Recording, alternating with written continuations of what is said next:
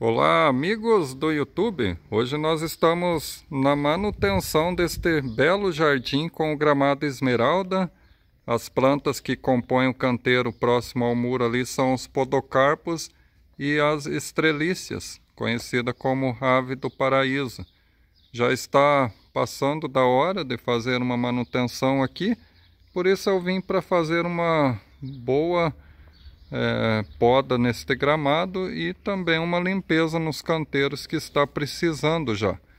A poda aqui do gramado esmeralda nós vamos retirar todas as ervas daninhas que estão se alastrando por cima da grama e depois fazer uma poda leve com a roçadeira. Aqui o chão é muito penso, não permite usar o carrinho para fazer a poda mas dá para fazer uma passada bem levinha aqui para não castigar muito o gramado que se apresenta muito saudável neste momento devido às chuvas constantes e foi feito algumas adubações é, quando eu fiz a manutenção anterior e as, as chuvas constantes favoreceram que ele ficasse nesta formação. Já está alto, as suas alta, com as folhas altas e bem fechado.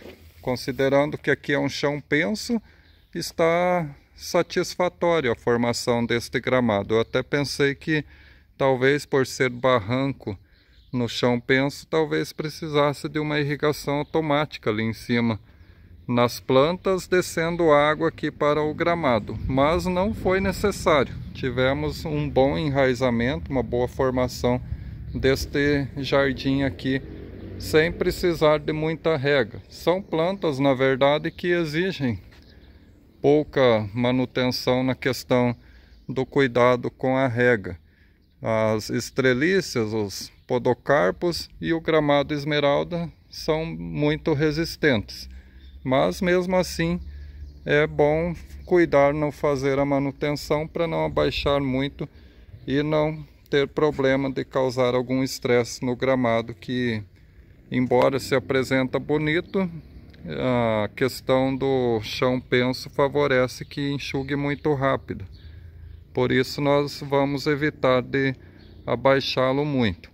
Aqui à frente tem o abacaxi roxo este abacaxi tende a fechar todo o canteiro, ele foi plantado há pouco tempo e a forração aqui com a casca poderia ser mais, mais generosa. Ela está rala e a terra está muito enxuta, ele não conseguiu formar totalmente ainda. Mas ele tende a vir novas brotações laterais e aumentar, fechando todo este canteiro que está aqui próximo a esta mureta.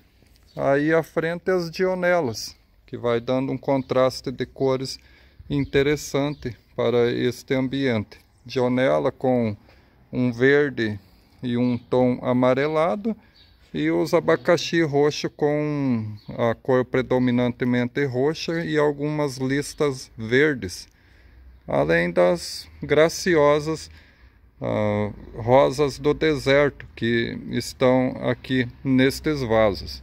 Este jardim está plantado há mais ou menos uns dois anos e normalmente é o tempo que leva, assim, em média um ano para o jardim conseguir se enraizar e se eh, mostrar da forma que ele foi idealizado, considerando manutenções adequadas, podas de limpeza, você vê que as estrelícias estão apresentando muitas folhas maduras e a poda do gramado, daí é, talvez um replantio ou outro.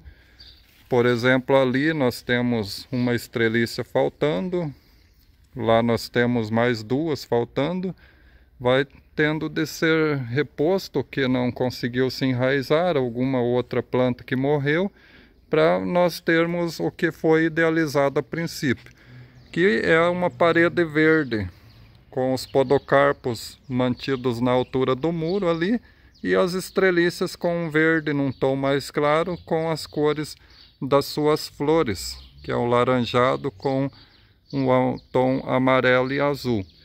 E a cliente ainda quer que nós plantemos uma palmeira fênix ali na onde está aquele, aquela pata de elefante, que nós pretendemos tirar um tempinho para vir fazer isto aqui ainda para ela.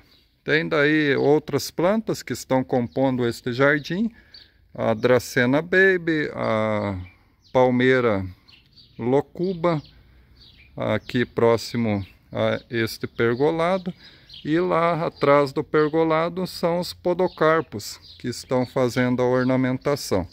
Plantas rústicas, plantas que trazem um visual maravilhoso no ambiente e que exigem poucos cuidados.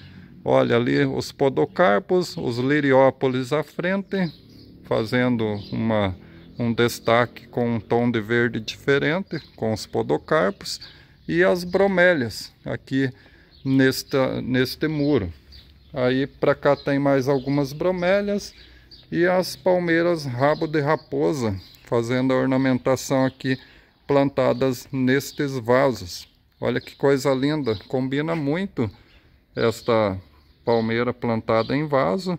Eu achei que ficou muito bem distribuído aqui em meio às arandelas e dá um efeito tropical próximo à área da piscina. Então você tem palmeiras aqui, a locuba lá, e ela quer que coloquemos uma fênix lá naquele canto.